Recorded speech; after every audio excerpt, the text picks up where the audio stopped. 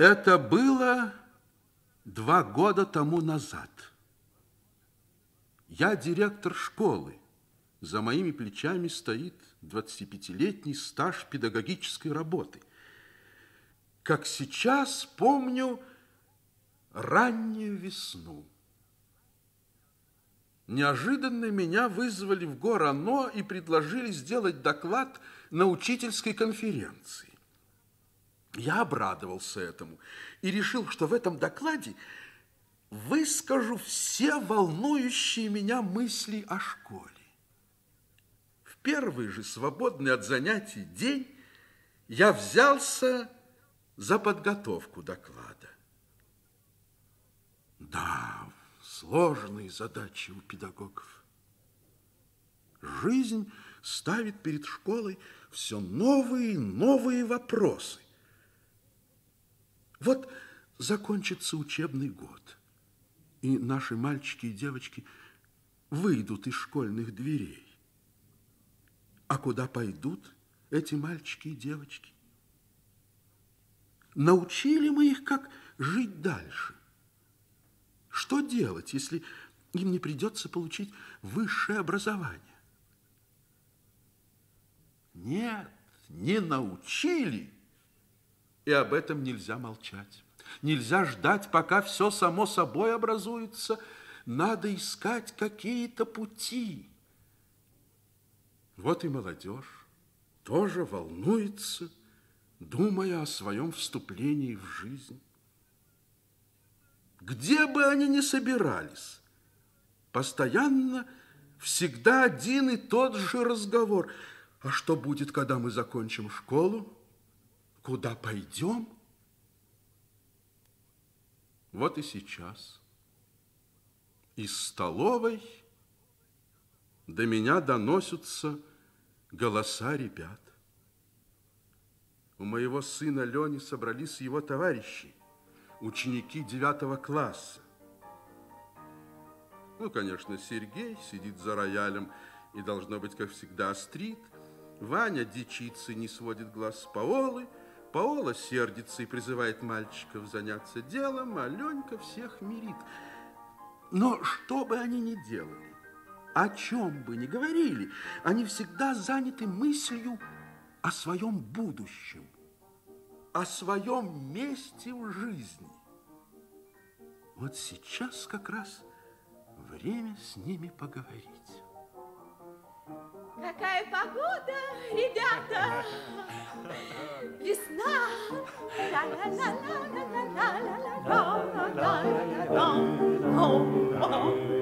Грохочут весенние грозы, цветет молодая весна. Манит она к белым березам, лишает покоя и сна. Ах, сердце весною согретым я тайну одну берегу. И этим заветным секретом делиться ни с кем не могу, не могу. А в сердце весною согретым я тайну одну берегу. И этим заветным, заветным секретом делиться ни с кем не могу. Ребята, а что не бояться смерти? Это подвиг. Это ты к чему, собственно, бухнул? Да нет, я просто так подумал.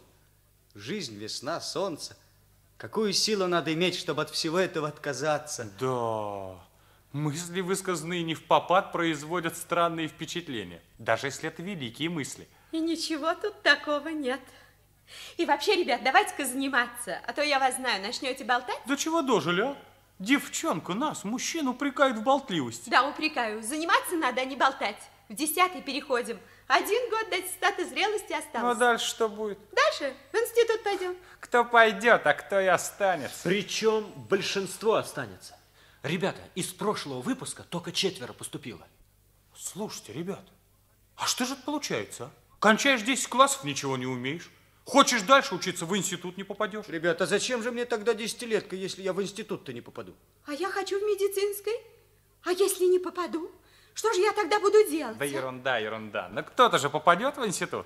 Я во всяком случае надеюсь. Да, хорошо, тебе нравится? Да, что ж. Здравствуйте, Николай Иванович. Здравствуйте, Здравствуйте, Николай Иванович. Здравствуйте, здравствуйте. Мы тебе помешали, папа, да? Да нет, нет. А мы тут немного думали вслух о наших судьбах. Да, я слышал. Ребята, тут рядом с нашей школой строится детский сад. Я вчера говорил с начальником строителя. О чем? Да вы, старшеклассники, могли бы работать на этом строительстве. А учиться? Совмещать? Работать раз или два в неделю. Строительных рабочих у них не хватает, и вы помогли бы городу закончить этот детский сад в срок. Ну, а кое-кому из вас в жизни могла бы пригодиться приобретенная профессия. Это что же? Окончить десятилетку и стать штукатуром? А что, это неплохая профессия. Во всяком случае, стать штукатуром куда почетнее и полезнее, чем не попав в институт, сесть на шею к родителям. Ребята, это хорошо. Ну, во-первых, это же настоящее дело. А потом это интересно. Да, Николай Иванович, а как же со школой? И так времени на уроки не хватает. Еще русской хромает. Алгебра прихрамывает, немецкий через пень Да колода. подожди, Сережа, оставь его. Да, это, Ваня, нелегко. Ничего, Николай Иванович, мы ему поможем. А что, ты тоже хочешь работать? Я? Обязательно. А что, я надену лыжные штаны, подвяжу платок, полезу на леса, буду класть кирпичи и петь. А по-моему, это здорово, петь над городом. Размечталась. Папа, а как в комитете комсомола на это дело смотрят, а? Да там-то хорошо смотрят. Они завтра обсуждают этот вопрос. Ну, пойдите, послушайте. Ребята, интересное дело, а? Главным образом увлекательное. Паулка уже воображает себя на крыше с кирпичом в одной руке, зеркальцем в другой, стоит, поет, а кирпичи сами Да ложатся. не смейся, я работать хочу. По-моему, это великолепно строить. Да лучшее дело на земле строить, создавать. И вообще это здорово. Вы подумайте, мы будем и учиться, и работать. Работать? А что, ребята? Девятый класс работать, десятый работать, два года работать. Верно. Этим делом так бросаться нельзя. Пригодится водиться напиться. Молодец, Николай Иванович, дальновидный мужик. Вот что, ребята, завтра идем на комитет и обсуждаем этот вопрос. А сейчас давайте-ка заниматься. А то учтите, Марья сказала, что если мы будем донимать ее вопросами, она выставит нас из класса. Она говорит, что мы задаем ей вопросы организованно. Надо хорошо подготовиться, она будет придираться. Пишите сочинение на тему «Мой любимый литературный герой». Ой,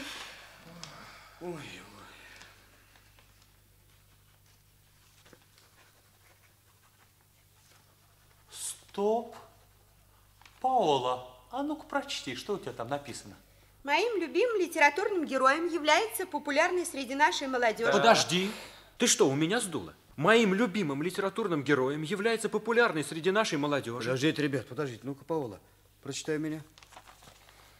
Моим любимым литературным героем является популярный среди нашей молодежи. Да мыслим по одной колодке. Ох, Марья, ограничена как столб. И нас думает превратить в этакие бездумные столбики. А некоторым ребятам даже нравится, как она преподает. Прочтешь критическую статью и катай. Образ Онегина, образ Татьяны, образ Павки Корчагина. А мне все эти образы кажутся какими-то деревянными куколками. У кого есть критические статьи, а? У меня Ну, давай, дома. сходи, принеси. Хорошо, Паук, я сейчас быстро. Паула, оставь ты свое сочинение. Сережка, сыграй наш вальс. Хорошо.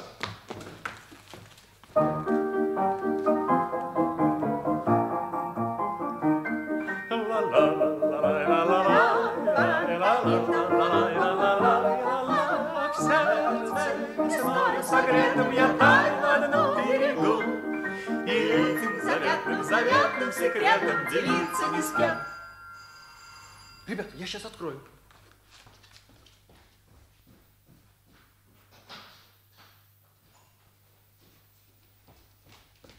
Ребята, Марья. Марья по коням Папа, Марья Ивановна к тебе. Что? Марья Ивановна к тебе. Да, пожалуйста. Здравствуйте. Здравствуйте, Николай Иванович. Здравствуй, Валя. О, Здравствуйте, Марья Ивановна. Здравствуйте, здравствуйте, ребята. Пожалуйста, пройдемте. Нет, нет, Николай Иванович, спасибо, я спешу. Я, Николай Иванович, принесла вам материал для вашего доклада. А, благодарю. Марья Ивановна, садитесь, Садитесь, пожалуйста. Марья Вас Ивановна, А, спасибо, спасибо, ребята. Да, так вот, Николай Иванович, я принесла вам материалы для вашего доклада, но, откровенно говоря, я просто не могу себе представить, зачем вам может понадобиться все это старье. А вы думаете, это старье? Конечно, это же совершенно не оправдавший себя метод. Сколько времени, сколько энергии было затрачено на организацию этих мастерских, а толку никакого не было. Строгали ребята, пилили, стучали молотками, а успеваемость в школе все снижалась и снижалась. Да, и мастерские закрыли. Дождаться результатов терпения не хватило. И загубили хорошее дело. Что значит загубили? Педагогический совет решил закрыть. Ну, если глупость совершена коллективно, она не перестает быть Ну, глупостью. это была жалкая кустарщина, Николай Иванович. Кустарщина. А что, если дело поставить по-настоящему? Построить политехнический комбинат при школе? Слесарно-механические мастерские, столярные со станками, термический цех, опытные участки. Тут можно и курсы организовать. Каменщиков, штукатуров, кровельщиков. Честное слово, это можно сделать. Как вы считаете? Очень хорошо. И остается только снять вывеску и уволить педагогов. А так ваш проект хоть куда. Марья ну что же вы против Ленина возражаете? Кто против Ленина? Я против Ленина? Ну, конечно. Но разве вы не помните, что он писал по этому поводу? Я вам напомню.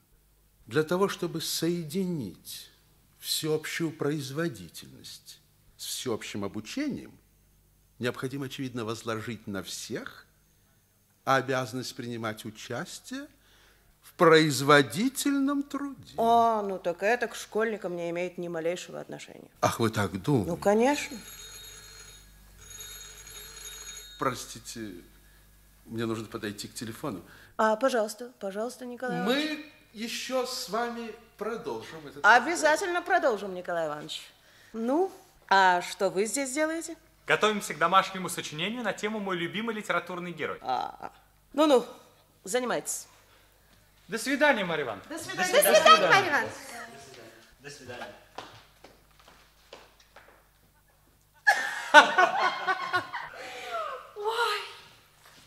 Слушайте, братцы, у меня мысль. Давайте напишем небольшую поэмку. Давайте, хоть душу отведем. Конечно. Тихо. Так. Читаем, Кристине. Ага. Ребят, ну-ка, вот так, начало, послушайте. Не городи напрасно вздор. Не буду слушать я халтуру. Читай критический обзор и будешь знать литературу. Очень хорошо. Не вздумай мыслить. Поумней тебя мыслители бывали. Молодец, Пола. Так, не вздумай мыслить, поумнее тебя мыслители бывали. Они уже критиковали, они подробно разбирали. Так что добавишь ты, едва ли работой жалкою своей. Живи без мук, без размышлений. Годится? Не думай, не думай как, зачем, за что. И знай, в твоем незрелом мнении ведь не нуждается никто. Очень хорошо. Здорово. Ну, дальше я кое-что от себя добавлю. да? Напиши, что она не может преподавать в старших классах. Да-да, это самое важное. Ребята, теперь остается придумать, как бы доставить ей это произведение. Пошлем по почте. Фи, банально. Знаю. Сунем ей в сумку. Она всегда с продуктовой сумкой ходит, а? Да не то, шика нет. Ребята, вложим в классный журнал. И не нашего, а восьмого класса. Она классный руководитель этих несчастных. Ой, она же их заест. В своем классе историю поднимать не будет, скушает. Надо психологию Верно. знать. Ну ладно. Ой, совсем забыл. Мне же надо четверку по истории исправить. Ребята! Ребята, вот! Ой, вот, критические статьи. Едва нашел, мать затолкала на шкаф. Ой, теперь и не нужно. Николай Иванович. Да? Николай Иванович, простите, пожалуйста, это я стучал. Николай Иванович, я хочу четверку по истории исправить. Я тогда был нездоров, ну а сейчас я подготовился. Ну, это как-то неладно на дому сдавать. Ну, Николай Иванович. Ну, то, пожалуй, времени-то в обрез. Ну, пойдем. Ваня, а ты? Ты ведь по истории не аттестован. Я не готов, Николай Иванович. Ну, все равно тебе полезно будет послушать. Пойдем.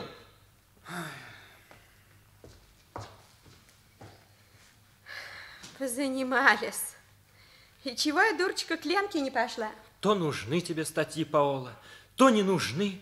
Не пойму я, почему ты над Ванькой издеваешься? Злюка. Мог бы повежливее, я, кажется, у тебя в гостях. Да нет, нет, ты не виляй. Ты мне скажи, почему ты над парнем издеваешься. Непонятно, что он в тебя нашел. Глаза, как у злой обезьянки, и по алгебре ты ни черта не понимаешь. К тому же у тебя сварливый характер. Глупости какие. Всем известно, что я просто ангел. Леня, Да? а тебе самому хоть какая-нибудь девочка нравится? Нравятся все.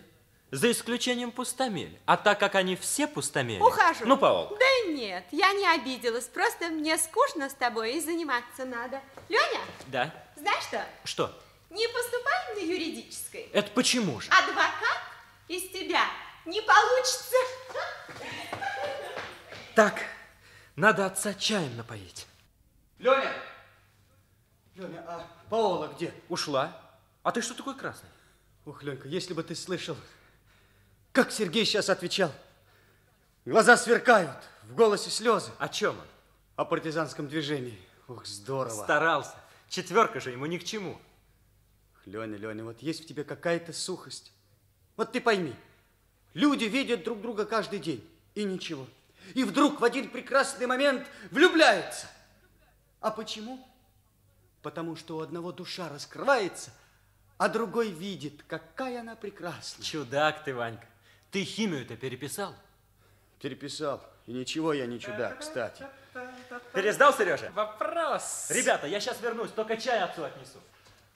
Сергей, я принес статьи, а вы разбежались. Ну, разбежался, положим, одна Паола. Да ты ничи, ничи, я все равно писать не буду. О, правильно, правильно, Сережа. Ты напиши, о чем хочешь. Ведь ты так здорово умеешь. А что? Вот возьму и напишу, что мой любимый литературный герой кто? Ну, как ты думаешь? Кто? Князь Мышкин из «Идиота». Ого! Марию хватит удар. Ну? Да, кстати, ты тут ушел, а мы кое-что для Марии накатали. Да? Да, в том смысле, что она человек неподходящий для преподавания литературы в старших классах. Так. Ну, все это в роскошных выражениях. Ну вот мы написали, а ты передашь. Давай. Да, но это как-то нехорошо, Сергей. Может быть, на комитете вопрос поставить, а? Или с Николаем Ивановичем поговорить? Ты что, это серьезно? Ха, сразу видно, усердный ученик Марии. Ну и пусть. Анонимки-то подлость. Да вообще, Сергей, как ты можешь после таких слов, после такого ответа... А и- что, понравилось? Очень. Очень. Особенно хорошо ты о павших героях сказал. Вот у меня брат Костя погиб, прямо из школы ушел воевать. Захотелось, как и он, что-то большое для людей сделать. Может, подвиги пригласишь совершать? А позову? Пойдешь? А что именно? Целину поднимать или канализацию в пустыне строить? Канал ты хотел Да сказать. все равно одно и то же, и в общении и родству. Что ты Да хочешь? подожди, Сергей, ты же от сердца говорил. Я-то понял, что ты от, От сердца. сердца? Ну да, конечно, от А сердца. зачем же ты сейчас? Пятерку зарабатывал. Понятно? Вот тебе бесплатный совет. Слабо знаешь материал, трещи по вдохновению. Подожди, Сергей. Да нет. Да не мог же ты о павших героях. царство им небесное. Подлец! Эх ты, подлец! Ребята! Ребята, вы что, с ума сошли? Отец идет! Ребята!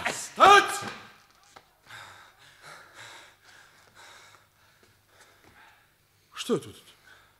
Взрослые дяди не поделили. Что произошло? Не знаю. Накинулся, как бешеный зверь. Очевидно, у Соколикова с психикой не в порядке. Чацкого тоже считали сумасшедшим. Так что же произошло, Сергей? Ладно, Николай Иванович, не стоит говорить. Дай щетку, Леня, брюки извозил. Пойдем на кухню, я тебя почищу. Ты, Ваня, ударил первым? Да, Можно узнать, за что? не стоит, Николай Иванович. И потом, за это не бить, за это убивать надо. Извините, что в вашем доме... Странно.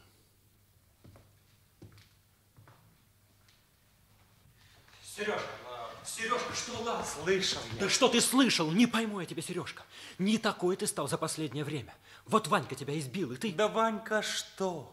Святой дурак. Что-то стало мне все неинтересно и трудно в жизни. Вон, отец книжку какую-то написал. Ну? Прошибить не мог. А книжка, между прочим, нужная. Ну вот, пригласил кое-кого, угостил, а может быть даже сунул. И, пожалуйста, напечатали, противно. Так я тебе на этот пример десятки других примеров приведу. Хороших поступков. Кто из нас прав будет? Это жизнь. Да брось. Мне в людей верить надо, ты понял? Уважать их надо. А кого? Отца? За что? За то, что он мать обманывает. Она спокойная и веселая. А семьи, между прочим, нет. Из-за этого ты становишься циником. Да не только из-за этого. Сергей, может быть, ты мне все-таки скажешь, из-за чего произошла драка? Когда на человека без причины нападают, Николай Иванович, это не драка, это избиение. Я пойду, Николай Иванович. До свидания. До свидания, Леня. Я провожу тебя, Сережа. За это не бить, за это убивать надо. Эта неожиданная фраза Вани не покидала меня в течение целого дня. И даже сейчас, на следующий день, когда снова я в школе в своем кабинете, она не выходит у меня из головы. Что произошло между мальчиками? Что случилось? Ваня прямой, честный, открытый. А Сергей... Сергей совсем другой человек. Но что произошло между ними? Я часто думаю. Народ доверил нам сотни своих детей. И мы, учителя, должны не только обучить, но и воспитать их, сделать настоящими людьми. Это огромная ответственность перед поколением. А вот все ли мы, педагоги и родители, понимаем это?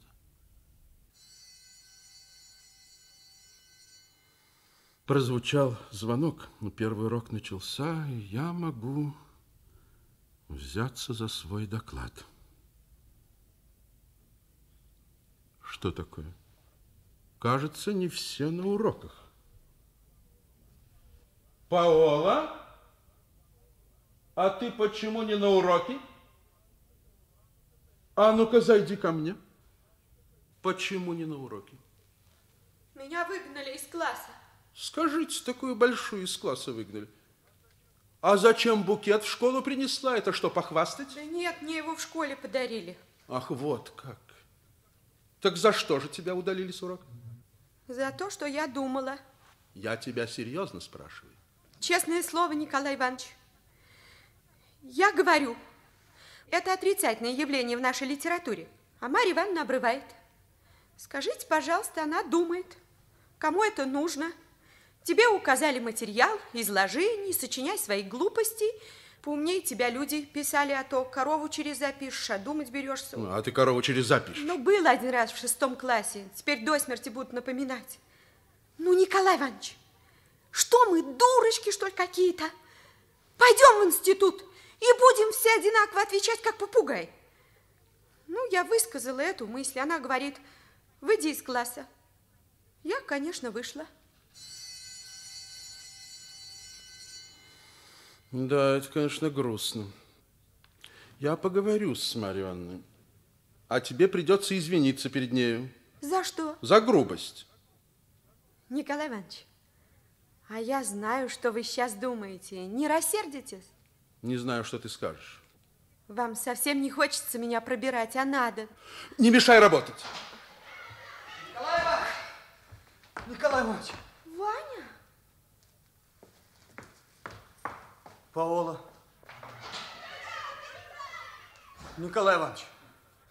Мне кажется, я скоро сойду с ума. А что, есть признаки? А вы не смейтесь, Николай Иванович. Ну, какой же тут смех? Ну, что у тебя, видение или навязчивая мысль? Навязчивая мысль? Вот это похоже. Вы понимаете, Николай Иванович, я все время думаю об одном. Даже когда я думаю про другое, это все равно не забывается. Оно как будто пронизывает меня. Непонятно. Понятно, это со многими бывает. Нет, так со многими быть не может, Николай Иванович. Вы понимаете? Я так страшно влюблен, вроде как заболел. Это же очень плохо, да? Ну, а почему? Уметь сильно чувствовать, это не всякому дано. Только надо уметь держать себя в руках. Я очень стараюсь держать себя в руках, Николай Иванович. Даже насильно вот про другое думаю. Вот ведь часто шел, я совсем, совсем с другим, а увидел букет и все из головы прочь. Невозможно это. Возможно.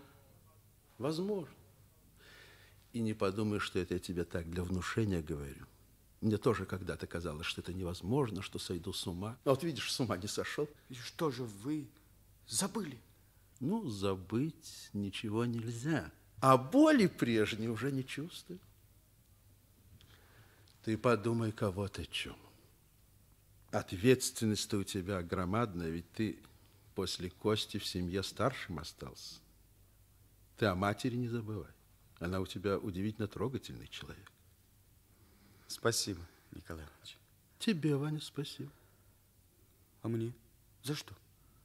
За доверие. Ведь такое и отцу не всегда скажешь. Ну, так зачем ты шел ко мне? М? Ну, садись сюда. Садись и говори. Ну? Да, я к вам по делу, Николай Иванович. Да? Приходим мы к начальнику строительства. А он с нами как со взрослыми. Папиросы предлагает. Да, ну... Мы не курили, так, Николай ну, Иванович. Ну-ну. Договариваемся, на бригады разбились, я тоже бригадир. В общем, будем работать три раза в неделю по четыре часа. Так. И вот мне показалось, четыре часа-то мало, а мне в комитете говорят, Вань, ты чудак. Три раза в неделю по четыре часа – это 12 часов. Это 48 часов в месяц. 48 помножь на 500 старшеклассников. Это 24 тысячи рабочих часа. Умножение – убедительная штука. О, умножение – это вещь, Николай Иванович. Только есть такое действие в арифметике, как вычитание. Вот если из этих 500 100 или 200 человек не выйдет, сколько из этого придется вычесть? Да, вычитание тоже убедительная штука. Вот, Николай Иванович, завтра же суббота. Первый выход. Мы в школе все ребятам рассказали, что будем работать на строительстве детского сада, что на вырученные деньги купим киноаппарат, будем снимать фильм о нашей школе. Но вы же знаете, у нас еще какие есть, Николай Иванович. Вот если бы вы завтра прошлись по классам, ну, чтобы не было вычитаний. Постой, да ты, ты в комитете комсомола был? Был. Ну, а зачем тогда вам я? Ну как? Что же, мы сами, что ли, Николай сами. Иванович? Сами, сами, сами, сами. Ну, хорошо, Николай Иванович. Мы сами. Разрешите минуту? А, Сергей? Да-да, входи. Можно идти, Николай Иванович. Иди.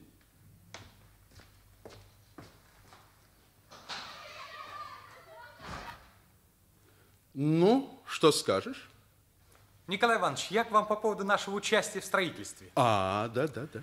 Видите ли, я был на строительстве, говорил с начальником, выяснял все условия. Это дело хорошее. Но у меня другой взгляд на оплату. Я считаю, что мы не должны получать эти деньги.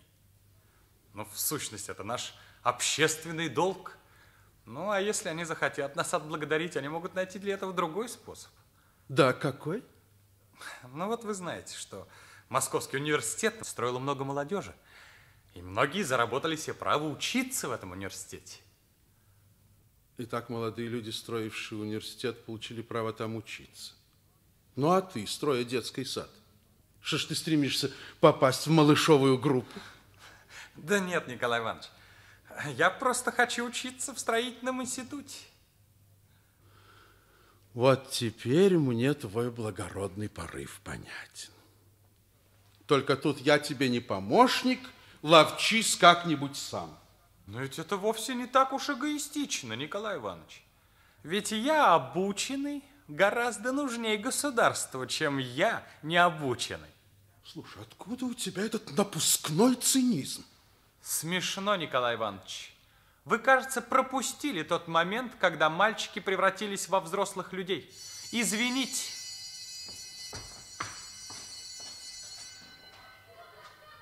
Надо вызвать мать. Да?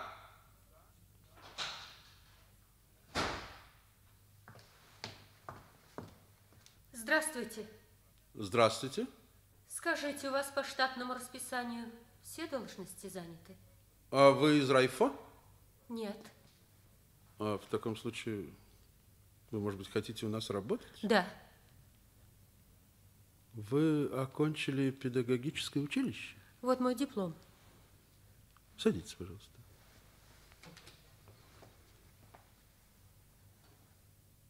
Послушайте, Светлана Сергеевна, а почему же вы не обратились в районно в начале учебного года? Не знаю. Ну, а почему пришли именно в эту школу? Я живу рядом. Вы окончили институт год назад. Почему же вы не работали? Так? По семейным обстоятельствам. Не хотели ехать на периферию? Что? Нет. У меня болел ребенок. Ну и теперь... Я одна. Одна. Да. Я сейчас не могу принять вас. Подождите, вы не дослушали. Пожалуйста, запишите свой адрес и телефон. А зачем? Ну, может быть, в будущем году представится возможность. Пожалуйста. До свидания. Подождите. Улыбнитесь. Ну, что бы ни случилось, жизнь-то продолжается. А вы действительно любите литературу и действительно хотели стать учительницей? Или, может быть, в педагогической пошли, потому что в другой не при? Нет. Я очень люблю литературу. И хотела стать именно учительницей, а не кем другим. До свидания.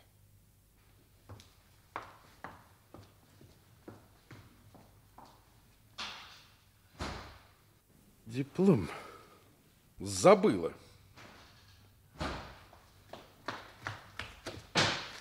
Читайте. Читайте. Что это? Нет, нет, вы читайте, Николай Иванович. Я, Николай Иванович, требую. Я требую, Ну, чтобы да- вы... Дайте прочесть. Да, конечно, это озорство. Да это преступное хулиганство. Вы понимаете, что они стихи написали? Хулиганы с интеллектом. Да, все это очень и очень грустно. Грустно?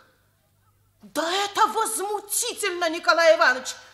Да неужели же вам только грустно? Да нет, нет, конечно, я тоже возмущен, а грустно мне, потому что авторам, к сожалению, нельзя отказать в наблюдательности. Что? Ну, знаете, Николай Иванович. Марья Ивановна, я много раз вам говорил, ребятам тесно в рамках вашего урока. Вы боитесь их вопросов, мнений. Вы запрещаете им мыслить, фантазировать. Нет, нет, нет, подождите, подождите. Это же, это же голословное обвинение. Кому я мешаю мыслить? Нет, Николай Иванович, не мыслить я им мешаю, а я им с правильного пути сбиться не даю. Ну зачем? Зачем давать им возможность судить в кривь и в кость в их опасном возрасте? Вы что же не понимаете, что они до такого могут договориться, что и до нигилизма один шаг? Нет, нет, на литературные и общественные явления должна быть одна общепринятая точка зрения. Да, но для этого-то нужно приучить молодого человека к самостоятельному мышлению. Развивать и укреплять эту самостоятельность, а не пресекать ее, не заменять ее готовыми рецептами. У молодежи возникают вопросы, на которые она не может правильно ответить. И задача педагога помочь ей разобраться в сложных жизненных явлениях. Так вот, я и помогаю. Да, как? Да был организован литературный кружок. Вы что же мне предлагаете? На уроках разводить дискуссию? Так ведь это же сплошная болтовня. Ведь после первого же занятия никто же не стал ходить. Да потому что на кружке это то же самое. Я был на этом занятии. Опять рецепты. А ребята хотят сами рассуждать, сами хотят прийти к правильному выводу. Так надо же их выслушивать. И значит, если они не весь какую ересь несут, то и ересь выслушивать. И ересь выслушивать. Надо узнать, откуда эта ересь, и, не оскорбляя достоинства ученика, привести его мысль к истине. Болезнь надо лечить, а не загонять ее внутрь. Ну, знаете что, Николай Иванович, мне просто страшно за вас. Поймите, что вы, как педагог, делаете огромную ошибку. Вы же затеваете в школе вещи, не имеющие ничего общего с учебно-воспитательным процессом. Ну зачем? Зачем вам понадобилось, чтобы ученики работали на строительстве? Вы что же, не понимаете, что они будут тратить на это время? А времени у них и так в обрез. Ну так зачем же вы тянете школу вниз? Успеваемость у нас и так не блестящая. Поймите, что школа имеет свою особую кардинальную задачу. Она должна учить. А выпускать каменщиков и штукатуров, да это просто не наше дело. А что касается этой дискуссии, о которой вы говорили, то долголетний опыт говорит о том, что дискуссия – это опасная вещь. И подобный метод ведет к желанию их все критиковать и осмеивать. А мы обязаны воспитывать их патриотами. Да неужели вы думаете, что вы воспитываете их патриотами? Ну, знаете что, Николай Иванович? Я человек принципиальный и не молодой.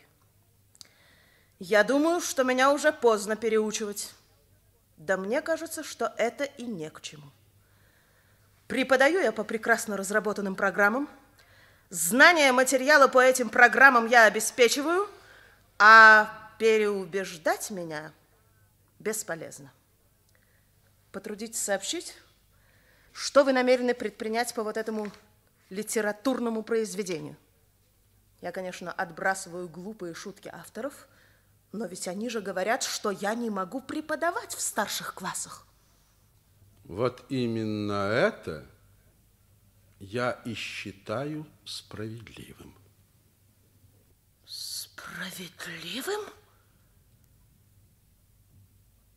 Вот как?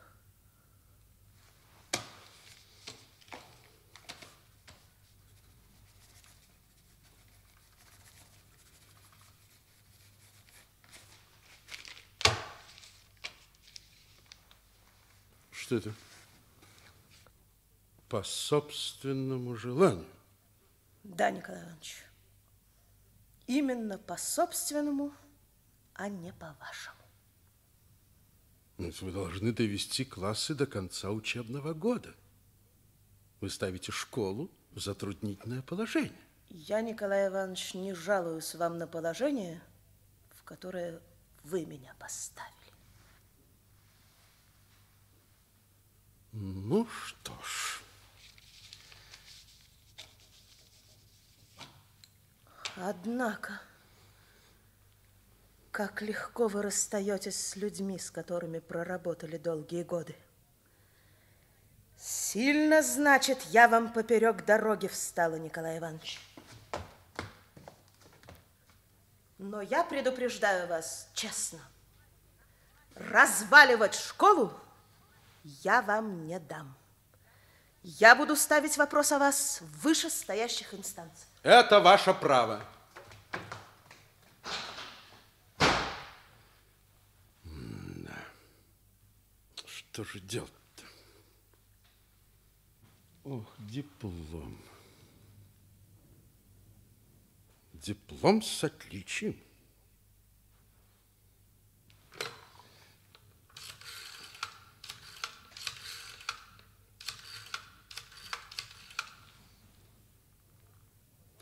Пожалуйста, Светлану Сергеевну.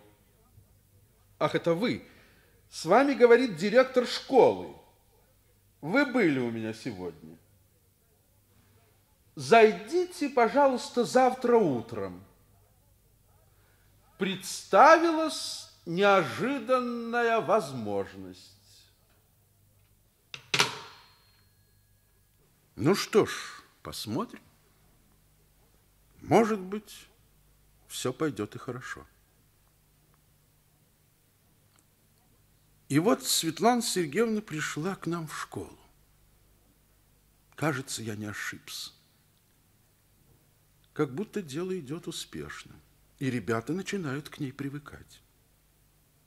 Конечно, молодой учительнице еще очень трудно во всем разобраться, но я уже вижу, что с ее приходом ребята полюбили уроки литературы. Вчера на заседании педсовета я рассказал об этом. Многие со мной согласились. Вообще разговоров было много. Начали с обсуждения работы Марьи Ивановны, а закончили спором о методах преподавания. Все горячились, волновались. Мне кажется, что наше волнение передалось и ребятам. Только что в библиотеке я видел, как Ваня и Сергей что-то оживленно обсуждают. Ребята, я вас везде ищу. Отдышись. Новости с театра военных действий. Ой, ребята, педсовет вчера был. Что творилось? Пух и перья летели. Марья-то уходит не только от нас, совсем из школы. Ну да. Классически. Что было? Все так кричали, в коридоре было слышно. Начали со стихов, а перешли к методам преподавания. Тут завязался принципиальный бой. Николай Иванович ревел, как Зевс. Молодец, Коля, принципиальный мужик, честное слово. Вот еще что. Никто не верит, что стихи восьмиклассники написали. У них никто стихов не пишет. Черт возьми, этого я не учел. А это улика, ребята. Ну и что же делать, а? Во-первых, не дрейфить. Главное, Марья ушла, ушла. Еще более главное, педсовет по нашей инициативе обсуждал принципиальный вопрос. Поняли, наконец, что мы выросли и в жвачках не нуждаемся. Это, конечно, так. Но только серьезные принципиальные вопросы надо серьезные поднимать, а мы просто нашкодили, как котята. Ой, ребята, совсем забыла. Завтра по этому вопросу комитет комсомола собирается. Да. Да. Ну, я, я надеюсь, Паулка, ты будешь мужчиной, язык не распустишь. За Ленку-то я спокойно, он отца подвести не захочет. Подвести отца? Ребята, а я его действительно здорово подвел. Ой, ребята, я считаю, что надо молчать. Конечно. А если вызовут на комитет и спросят, что же, врать будете, да? Ну, вы как хотите, а я не смогу. Цыпленок. Нет, мы действительно нарубили много дров, и на комитете из нас все равно все вытрясут. Да комитета испугались. Все равно никто ничего не узнает, если мы будем молчать. Ну, да пойми ты просто. Осторожно.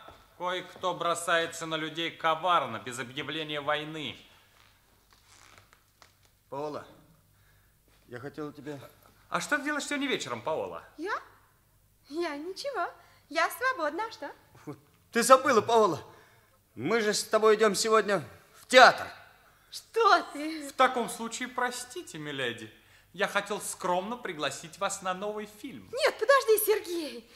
Какой театр? Я ничего не знаю про театр, я никуда не собиралась. Что это вы тут изучаете, ребята? Да вот, готовимся к домашнему сочинению на увлекательную тему. За что я люблю Пушкина.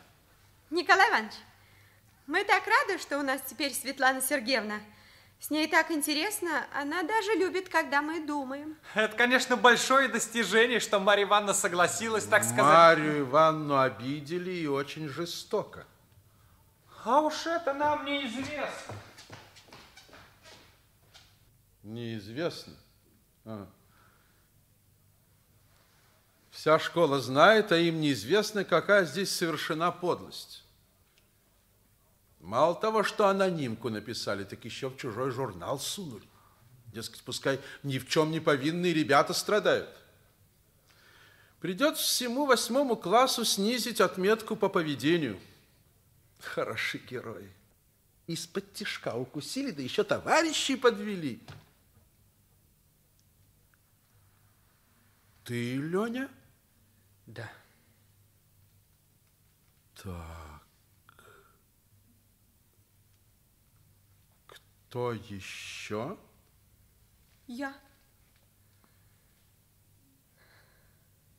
И ты, Ваня? Нет. Как все-таки это страшно. Думаешь, порядочных людей воспитываешь, а они трусы и пакостники. Николай Иванович, ну мы же не думали, что... Надо думать! Педагогический совет обсудит ваше поведение. Папа! Дома поговорим.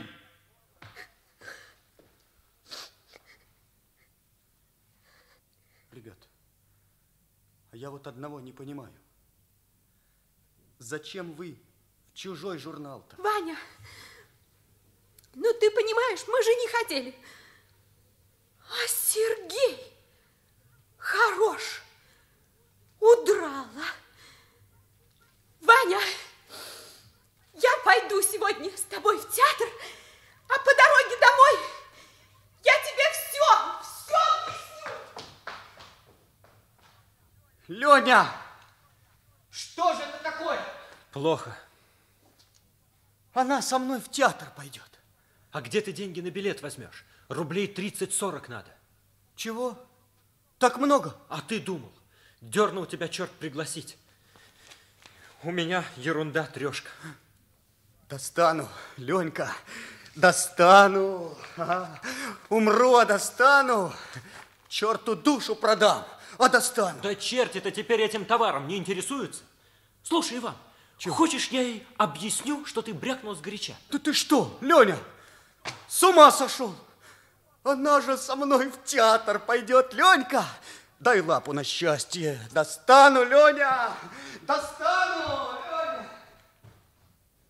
Прошло уже несколько дней, а я не могу забыть о случившемся. Да, педагогом-то я оказался плохим. И сын, и ученики мои совершили недостойный поступок. Ну, хорошо, предположим, что им было нестерпимо с Марьей Ивановной. Но они не пришли ко мне с этим. Значит, ключа-то к душам ребят у меня нет. Вот и урок кончился.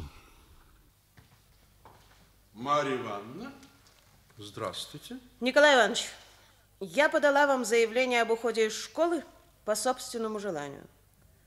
Но вы сами понимаете, что желание это было вынужденным. Понимаю. Я раздумала. Этой школе, этим ребятам, Николай Иванович, отдано слишком много лет моей жизни. А возвращение моим, наконец, просят мои ученики и их родители. Вот письма. Мой долг прислушаться к этим голосам. Верните мое заявление. Но ваше место занято? Да, но еще не окончен испытательный срок, и вы можете ее уволить. Но она работает хорошо. Я не могу поверить, чтобы я, опытный педагог, была бы менее полезна школе, чем она, имеющая за плечами только институтскую практику. И вы, как директор, не можете этого не осознавать. Я не знаю. Может быть, может быть, надо было как-нибудь не так? Но вот что с этим делать? Не нести же в милицию. Но чьи это, прошу прощения, брюки? Петровского. Петровского? Так, за 15 лет своей работы в школе я не помню случая, чтобы ученики раздевались на уроках. Мы с вами еще вернемся к этой беседе, Николай Иванович. Что у вас случилось, Светлана Сергеевна? На днях я поставила тройку Петровскому. И, признаюсь, довольно зло высмеяла его перед классом. Сегодня на моем уроке он снял с себя брюки. Я старалась этого не замечать, но ребята помирали со смеху. Правда, некоторые негодовали, в особенности Соколиков. Тогда я решила принять бой. Я вызвала его к доске. Он так и вышел, в трусиках. Отвечал хорошо. Это было еще более смешно. Нет, Николай Иванович, его просто не следует держать в школе. Но я продержала его до звонка. Потом я взяла его брюки. Ребят, кажется, не ждали этого. Теперь они вообще скажут, что я пошла жаловаться. Ну, главное, главное, вы не растерялись. Ребятам понятно, что в дураках остался Сергей. Куда же он пойдет? В одних трусах. Ах, какой наглец! Какой наглец! Тетя Катя, найдите мне Петровского. Или нет, подождите, я его вижу. Петровский, зайди ко мне.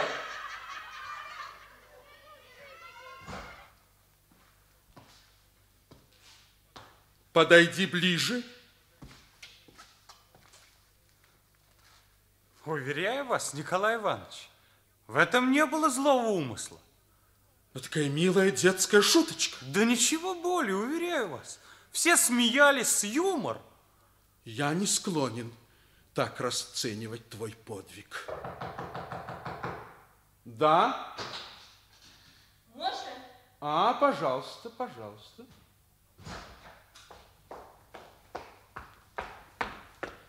Здравствуйте, Николай Иванович. Здравствуйте, Наталья Николаевна. Николай Иванович, что же это за порядки стали у нас в школе? Да, какие порядки вас не устраивают, Наталья Николаевна? Ну как же?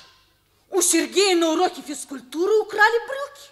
Нет, я буду ставить вопрос на родительском комитете. Сегодня у Сергея, завтра еще у кого-нибудь. Сергей, подай матери стул.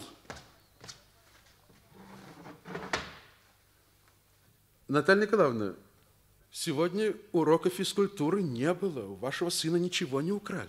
Позвольте, он же мне только что звонил. Он просил, чтобы я принесла. Наталья Николаевна, Сергей вам солгал. Солгал? Но какой смысл? Я же не девочка, чтобы меня разыгрывать. И потом мне Сережа никогда не лжет. Наталья Николаевна, сегодня на уроке литературы ваш сын снял с себя брюки. Он хотел отомстить учительнице за тройку и за критику его недостатков. Сережа, как ты мог? Сережа! Что же теперь будет, Николай Иванович? Я буду ставить вопрос об исключении Сергея. Николай Иванович, что вы? Ой, что вы? Сергей, оденьтесь и отведите вашу матушку домой, на ней лица нет. Пожалуйста. Спасибо. Пойдем, мама.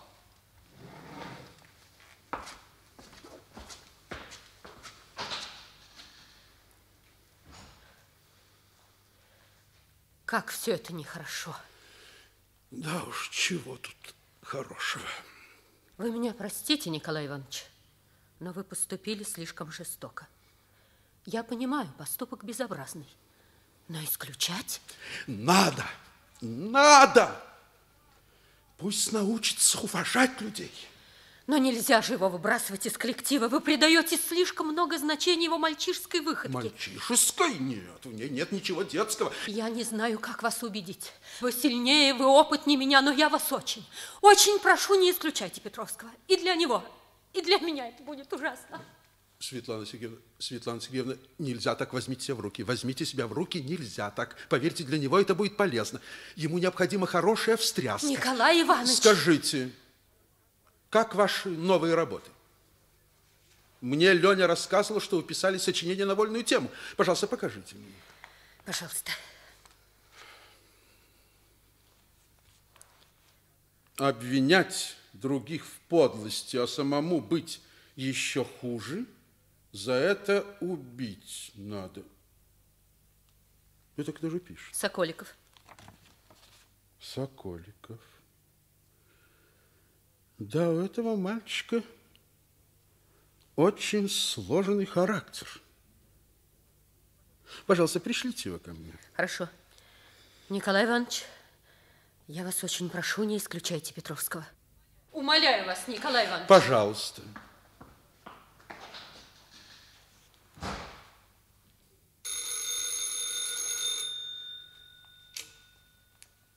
Да, я. Здравствуйте, товарищ Петровский. Педсовет будет. Да.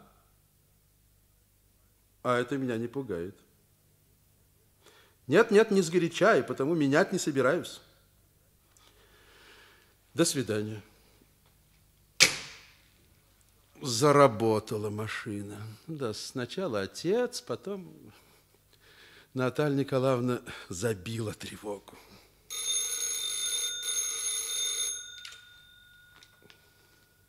Да? Зав районо? А почему так официально, Степан Ильич? Да. Да. Она вам сказала, за что? Ах, другие меры. Да нет, я не нахожу возможным. Я зайду сегодня к вам и изложу свои соображения. Да, до свидания. Оперативно, как на фронте. Папа! Я сколько раз тебе говорил, чтоб ты не врывался. Папа! Ваню арестовали. Я все бросил и выбежал на улицу. Остановил первое такси и помчался в милицию. По дороге быстро набросал характеристику Вани. И вот я в отделении жду приема. Ваня арестован. Такой чистый, честный, принципиальный. Это, безусловно, какая-то ошибка, недоразумение, случайное стечение обстоятельств. Но вот фраза из Ваниного сочинения, которая говорит совсем о другом. Иногда человек совершает поступки, в которых его воля как бы не участвует под влиянием каких-либо сильных чувств. Меня и тогда поразила эта фраза. Неужели мальчик действительно сделал что-то ужасное? А вот другая фраза из его сочинения – обвинять других в подлости, а самому быть еще хуже, за это убить мало. Это он, конечно, о Сергее, о себе. Значит, Теперь он считает себя хуже Сергея. Как жаль, что я так и не узнал, почему тогда они рассорились до рукопашной схватки. Кто был прав? Сергей? Не, не. Сергей, у которого цель словчить, хорошо устроиться в жизни – Как мало мы еще знаем наших учеников. Ну, что я знаю о Сергее Петровском? Отец занимает видное положение, мать часто бывает в школе, работает в родительском комитете. И все. А что по существу? Я знаю об этой семье.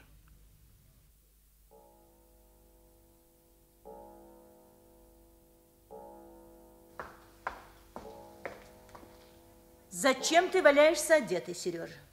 Это же нездорово.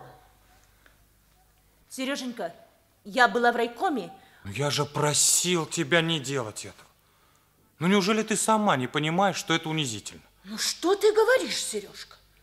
Ведь тебя исключили без всяких оснований. Да с основаниями, мама. Подлец и циник. Ну вот скажи, ты много лет работаешь в родительском комитете и хорошо знаешь Николая Ивановича. Как по-твоему, справедливый он человек? По-моему, да. Так не кажется ли тебе, что и со мной он поступил справедливо? Может быть и справедливо, Сережа. Но нельзя же так жестоко. Жестоко? Я открою, Сереженька. Если ко мне, мама, я у себя. Хорошо.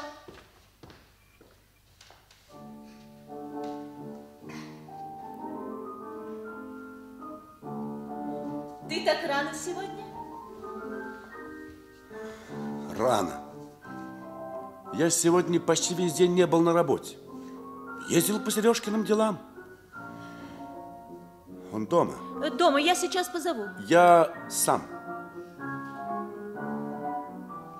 Сергей! Сергей! Ты меня звал, папа? В чем дело? В чем дело? Да дело в том, что за твою глупость расплачиваться надо нам. Ведь черт знает, перед кем только не приходится из-за тебя унижаться. Пожалуйста, не делай этого. Я вынужден, вынужден. Я сегодня целый день мотаюсь по городу. Я сегодня... Ну, успокойся. Успокойся, Вадим. Я сейчас накрою на стол, и мы будем обедать. Я уже обедал. Да? А где же? Господи, папа мог пообедать в любом ресторане. Вот именно. У всех сегодня такое тяжелое настроение. Может быть, мы пойдем вечером куда-нибудь? Я сейчас схожу и куплю билет. Но ты же знаешь, что я занят сегодня вечер. Но ведь сегодня суббота, Вадим. Ну, папа же еще вчера говорил, что у него в субботу совещание. Хочешь, я с тобой пойду, мама? Спасибо, Сереженька. Не надо. Я думала, что мы всей семьей. Но если папа занят, Ты куда? я ненадолго. Я что-нибудь к чаю куплю. Но вот видишь, видишь, до чего ты довел мать. Она слова без слов сказать не может. Ну что ты на меня так смотришь? Правду говорит твой директор, что ты обнаглел. Я никак не пойму, зачем ты сделал эту глупость. Люди иногда совершают поступки, которые не могут объяснить. Что?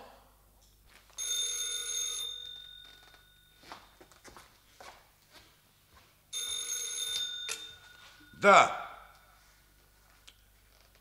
Ты? Зачем ты сюда звонишь? Что ты говоришь? Но я же был совсем недавно и... Хорошо, хорошо, я, я приеду и привезу врача.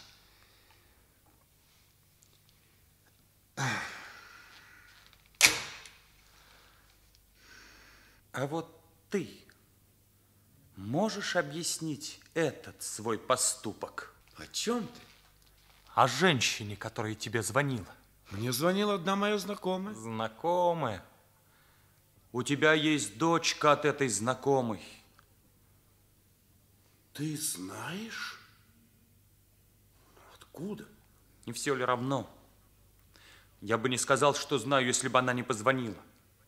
Скажи, и пусть она не смеет этого делать, ведь мать может взять трубку. Сначала звонит, потом еще и явится. Сережа, ты еще не можешь понять. Возможно, но не все ли равно? Понимаешь ты или нет, от чего рушится твой дом, когда он рушится? Сергей, я, конечно, должен был тебе все рассказать, но поверь, мне тоже нелегко. Мне зато легко. С одной стороны, стараюсь скрыть от тебя, что мне все известно. А с другой стороны, дрожу, чтобы мать не узнала. Ты-то ведь не очень об этом заботишься. Записки бросаешь. Ну как ты не боишься, что она узнает? Да, но она... Что? Да ты что, воображаешь, что мама станет это терпеть, как я? Да ты что, нашей мамы не знаешь? Да на минуты с тобой под одной крышей не останется. Ты так думаешь? А ты смеешь думать иначе? Сергей, твоя мама прекрасный человек. И я люблю ее как человека. Нет, нет, ты не удивляйся. Именно люблю. И вообще надо в этом, Сережа, разобраться. Ты уже не мальчик. Нет, пожалуйста, не надо. Я все понимаю.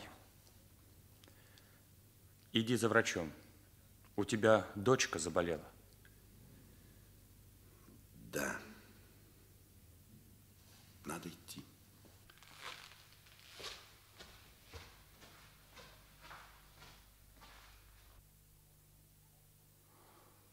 Сереженька, я тебе купила самые твои любимые пирожные. Мама? Ты вернулась? Иди, сынок, пить чай. Мама, дорогая моя, я тебя очень люблю. Вот как? Приятное признание. А ты думаешь, я тебя не люблю? Ты у меня такая спокойная, гордая. О чем ты, мальчик? Ну, я знаю, ты не примирилась бы ни с какой ложью. Конечно. Вот поэтому я прошу тебя говорить мне всегда правду. Пусть самую горькую, но правду. Ты меня никогда не обманываешь, Сережа? Никогда. Я знаю, ты ни за что не простила бы. А к чему ты затеял этот разговор? Уж не хочешь ли признаться мне в каком-нибудь грешке? Да нет. Я просто... Я просто рад, что ты у меня не такая, как многие. Вот я знаю, есть женщины, которые как-то мирятся с ложью. Узнают, что их мужья изменяют и прощают как-то. Но нельзя осуждать женщин в таком случае. Бывают разные обстоятельства. Но ты всегда всех защищаешь, мамочка. Это от доброты. А ведь сама бы ты ни за что. Ты очень прямолинейно судишь, Сережа. А бывает и так, что люди жертвуют своими чувствами ради детей. Какая же это жертва, мама? Ну, это же немыслимо гадко. Ну, нельзя мириться с этим, это ложь. Но бывает, что люди не лгут. Они рассказывают о своей новой семье, новой любви и договариваются как-то не разрушать старый. Опять же, ради детей, ради дома. Ну и положение, наконец. Мама, да что ты говоришь, мама? Ты как будто оправдываешь все это. Сереженька, есть женщины, которые могут быть только матерями и женами. Отними у них мужа, дом, и они... Нет, нет, мама, надо немедленно все бросить, надо немедленно уйти. Бросить? Бросить все, что ты приобретала десятками лет? Бросить свой дом? Уйти? Куда? Зачем? Чтобы она пришла сюда? Нет, Сереженька, я из своего дома никуда не уйду. Все это не так просто, мой дорогой. Значит, значит, ты все знала? Значит, лгать друг другу? Изо дня в день лгать?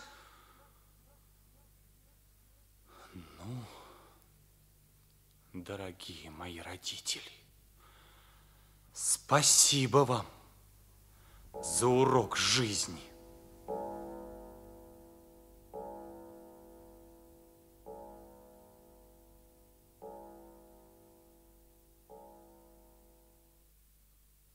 Да, по существу я ничего не знаю об этой семье. Нет у нас еще подлинного контакта между родителями и учителями. Но Ваня, что же случилось с мальчиком? Беда. А я стоял рядом и не мог ее отвести. Ваня, доверивший мне свою сокровенную тайну, не обратился ко мне, когда с ним случилась беда.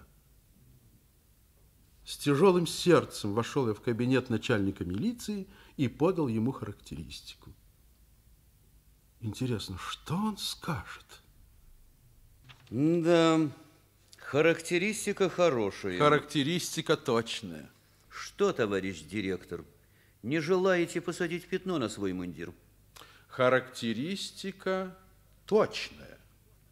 Но Соколиков явно связан с преступным элементом. Кроме того, он скрывает местонахождение своих сообщников. Но этого не может быть. Тут явно какое-то недоразумение. Факты, понимаете, вещь упрямая. Вот, прочтите протокол. Наш сотрудник видел, как он получал деньги от известного рецидивиста Петьки Гвоздя. А тот деньги за спасибо не дает. Было задумано о ограблении магазина.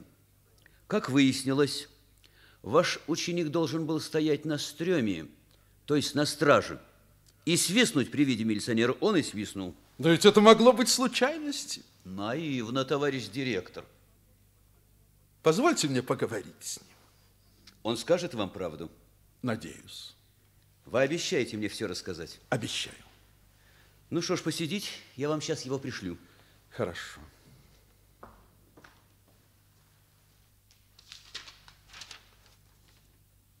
Да нет, ерунда.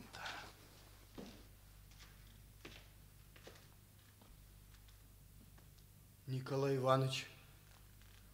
Здравствуй, Ваня. Здравствуйте.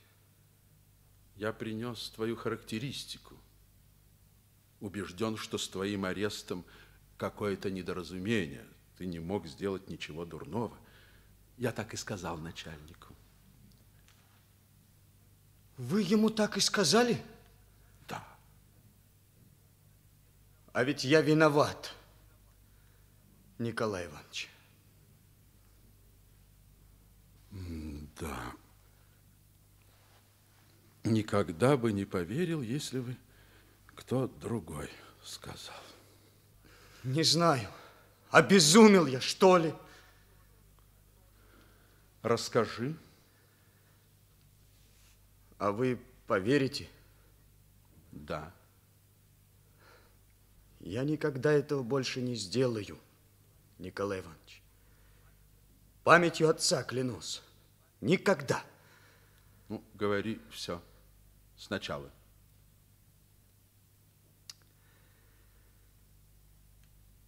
Деньги. Деньги мне нужны были.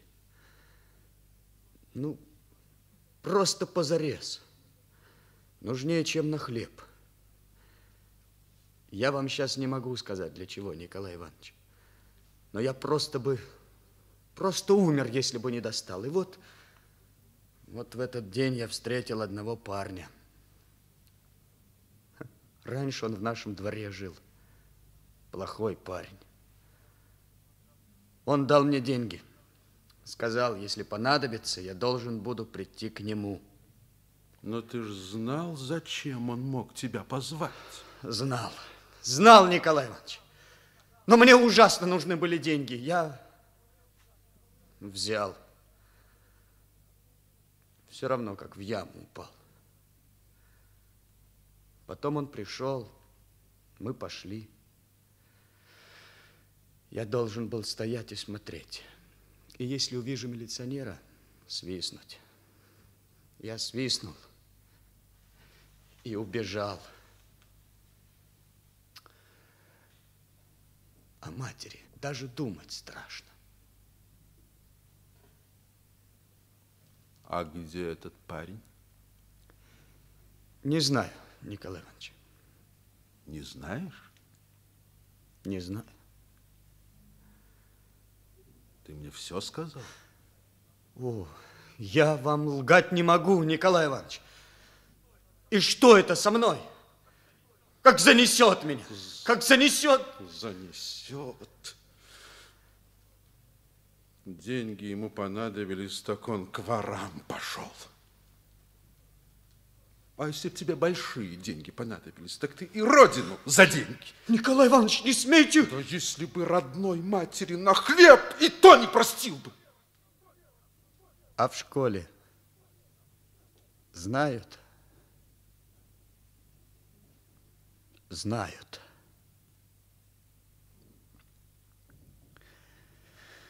Нет, дальше нельзя жить. Поговорили? Да. Идите. Ну что, товарищ директор, случайность? Нет. Вы можете дать ход этому делу или прекратить его.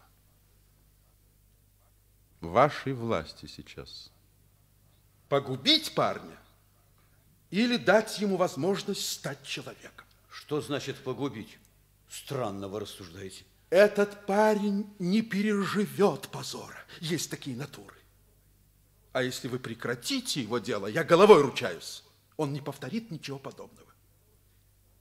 Ни с какой шайкой он не связан. Его подловили в трудную минуту.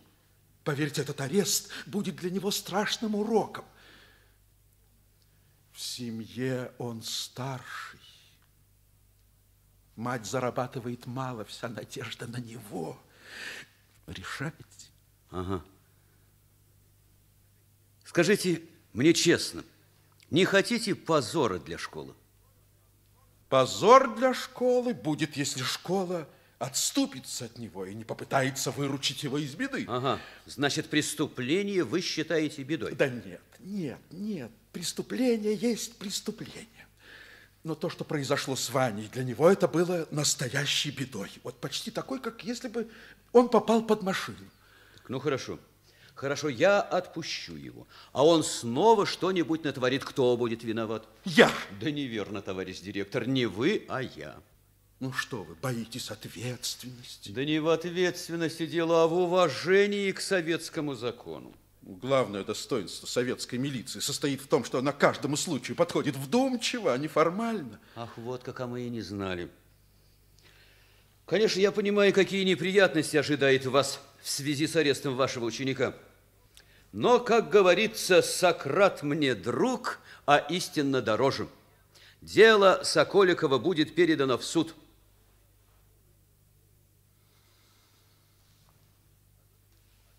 Одну минуту. Что вы? Слушайте, товарищ директор, я хочу, чтобы вы поняли одну простую вещь. Больше заботьтесь о моральном облике своих учеников и меньше о чести своего мундира. Мы ведь тоже кое-что знаем. И других директоров видали с другими принципами. Знаете ли вы о таком факте? Один старшеклассник на уроке при учительнице, извиняюсь, брюки себе скинул.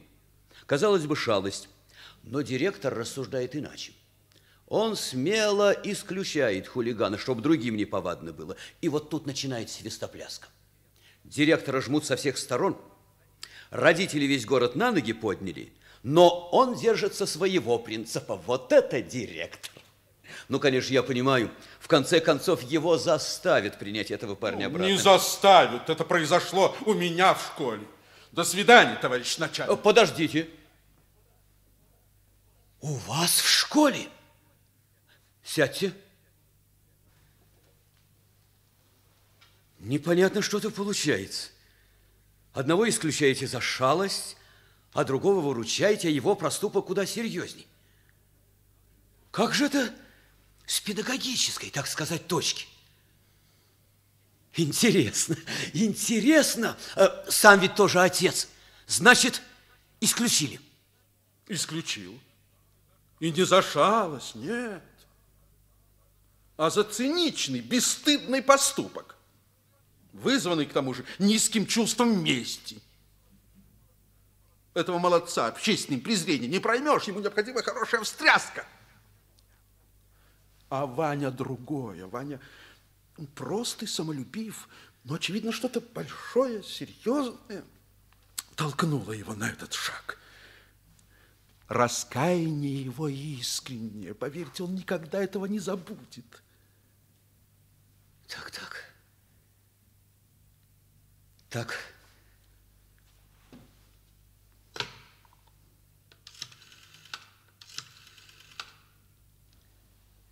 Пришлите Соколикова.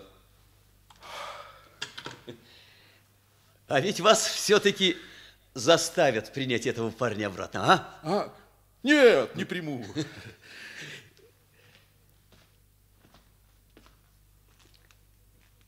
Соколиков, директор вашей школы поручился за вас. Я надеюсь, вы понимаете, что это значит. Он считает вас честным человеком, и у нас нет оснований не верить вашему воспитателю. Оправдайте доброе мнение вашего директора.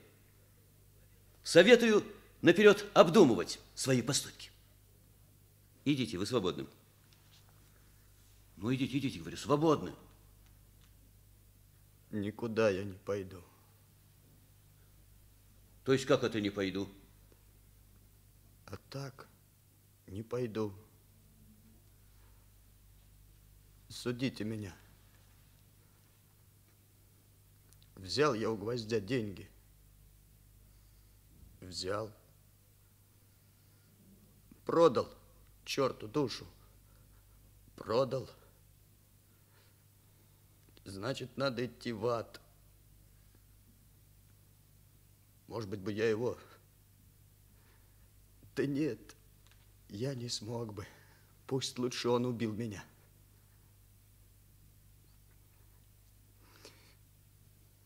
Не место мне в обществе.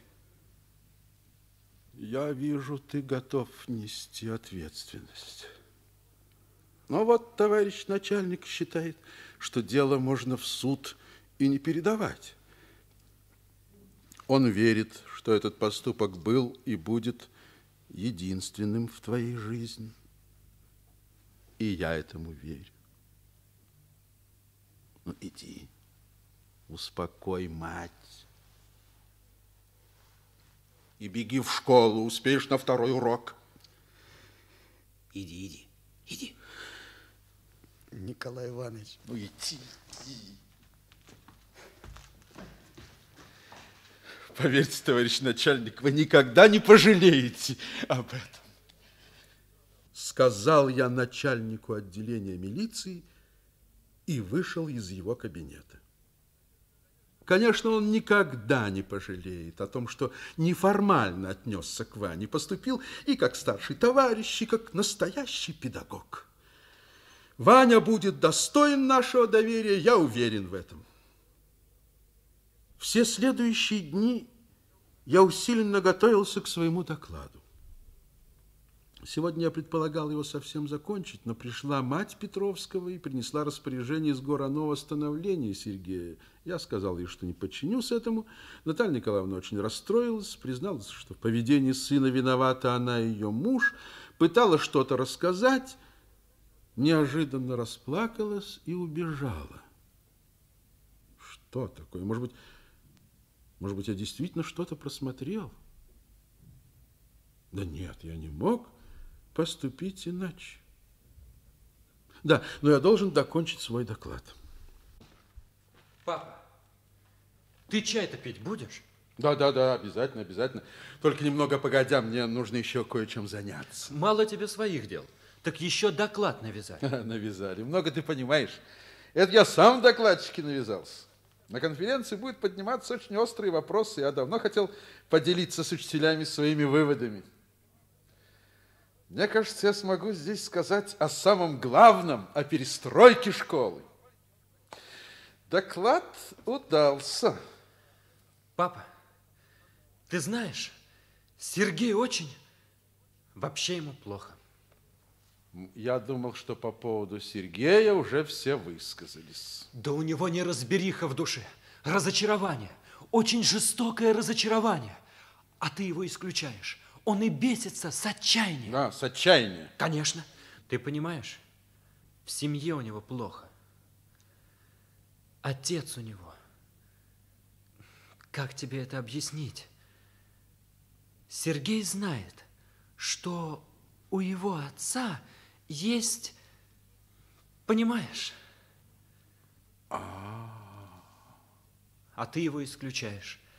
Не понимаю я твоей прямолинейности. Прямолинейности? Конечно. Скажи, а за что тогда Ваня набросился на Сергея? Помнишь, они подрались? Не знаю. Знаешь? Нет, нет, не знаю. А если бы знал, то тебе бы все равно не сказал. Мы же с тобой договорились о школьных делах друг от друга не узнавать. Помнишь? Да, помню. Ну, извини. Да? Да. Здравствуйте, Степан Ильич. Да, да, знаю. 28-го заседания комиссии, и мне надлежит быть. Что?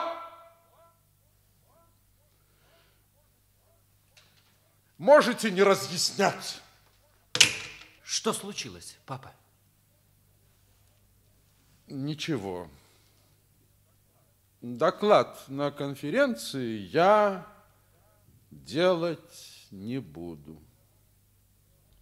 Услышав эти слова, Леня молча вышел. Видимо, это его очень огорчило. Я плохо спал ночью. Трудно было мне примириться с мыслью, что я не буду делать доклада на конференции. Но я твердо решил, что я все равно выступлю и поставлю на обсуждение волнующие меня вопросы. Вот уже несколько дней работает комиссия, которая проверяет мою работу в школе. Конечно, товарищи разберутся во всем, я в этом не сомневаюсь. И все же я волнуюсь. И ребята тоже волнуются.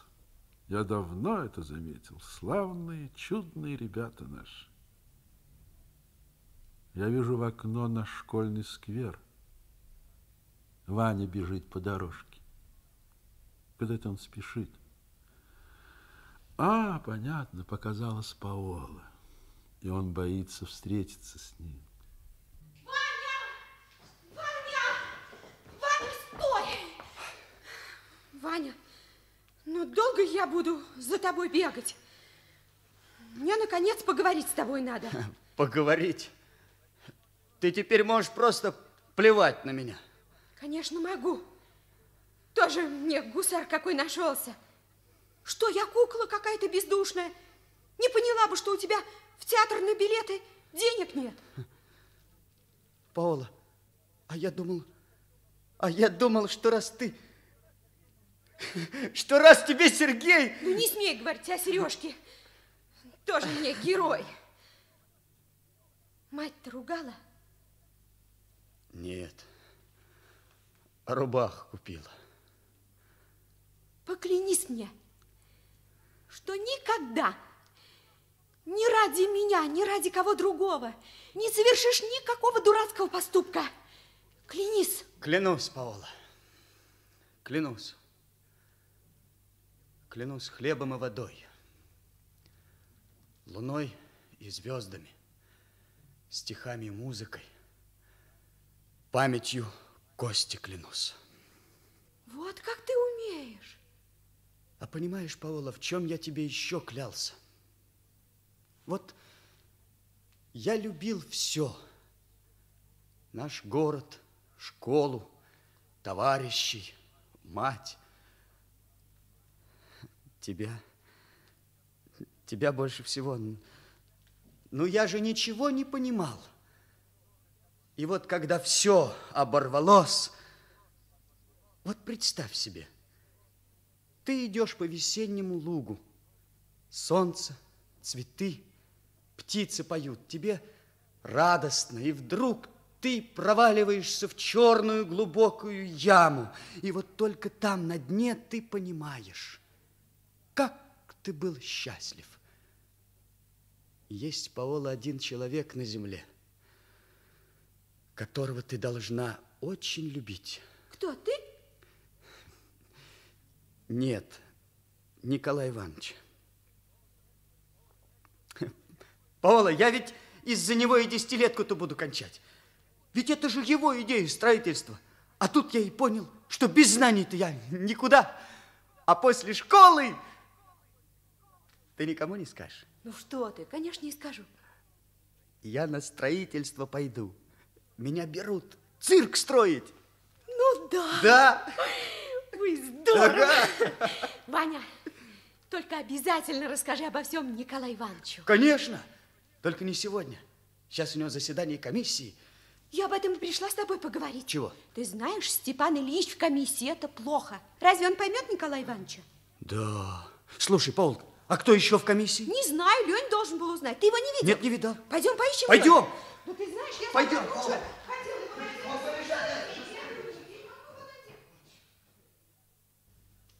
Здравствуй, Сережа. Здравствуй, Леня.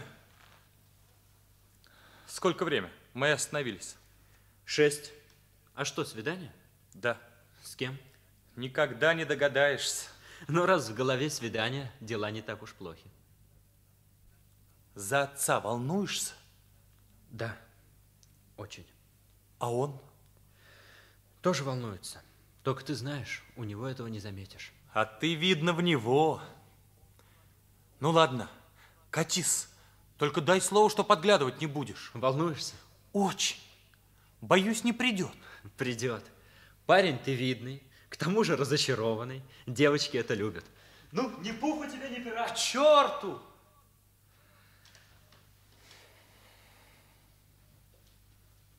Пришли. Вы меня извините, Николай Иванович, что я осмелился вызвать вас на свидание. Ничего, на воздухе приятнее разговаривать. Ну, садись. Ничего, Николай Иванович. Николай Иванович, а вы, наверное, думаете, что я... А вы напрасно пришли, Николай Иванович. Я вам такого наговорю. Говори. Да, я все хочу сказать. Это я написал стихи про Марью Ивановну. И вся эта затея моя. Ну вот и скажите об этом на комиссии. Тогда уж мое исключение будет вполне оправданным. А то ведь вас главным образом из-за меня будут упрекать, я-то знаю.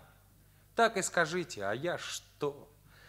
Подлец, трус, циник, товарищей подвел, лгун. Ну вот хотя бы лгуном теперь я могу и не называться. Но вы мне вот что скажите, Николай Иванович. Только правду. Ну зачем вам все это надо, а? Ну вот вы меня исключили. Ну, предположим, за дело. Но ведь вы же знали, что вас замучают. Буду заставлять принять меня обратно. Ну зачем вам все эти неприятности? Что это вам дает? Что это мне дает? Да. Очень многое. Сознание того, что я поступил правильно. А если бы это сделал Леня? Леню мне было бы труднее исключить, чем тебя, но я бы это сделал. А если вас снимут, но освободят от работы? Ну, а если это произойдет, так что же делать? И вы не отступите? Нет. Ну, так что ж ты еще хотел сказать? Я тебя слушаю. Тяжело на душе, Николай Иванович. А ты не давай рыться в своей душе холодным остроумцем. Вот тем, которые смеются над любовью к родине, копаются с наслаждением в наших ранах, для них нет ничего святого.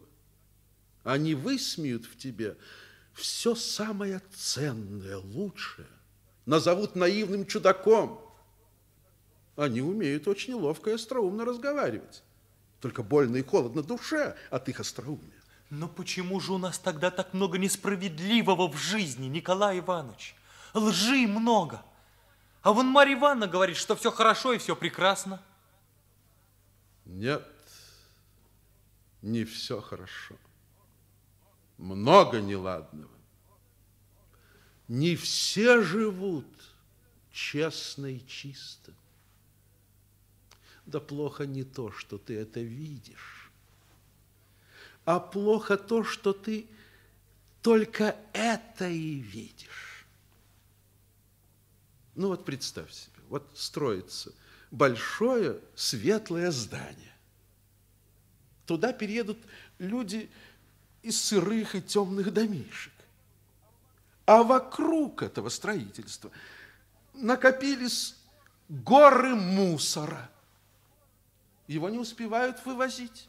Ходить трудно. Люди падают, мусор портит весь вид.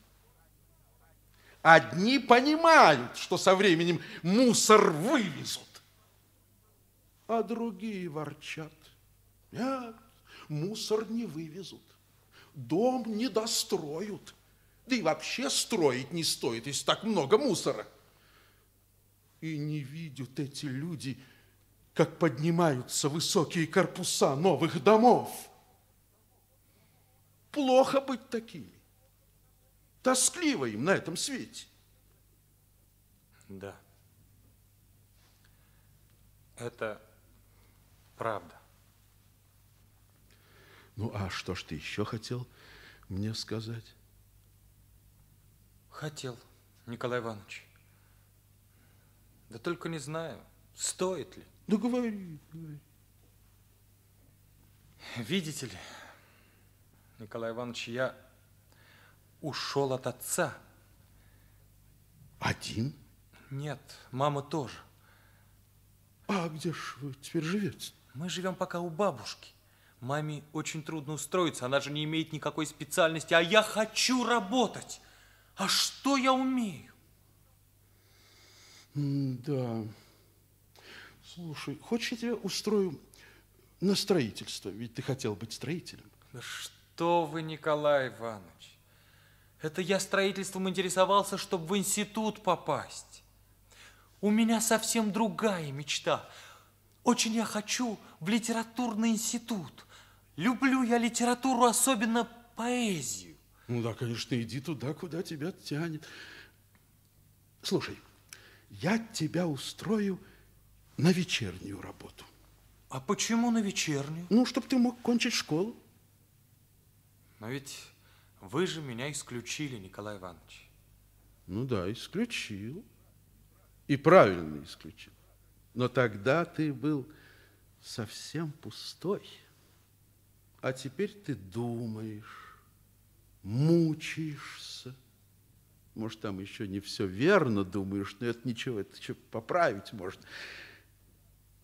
Ну что ж, иди учись, приказ я отменю. Что вы, Николай Иванович? Да нет, это нельзя.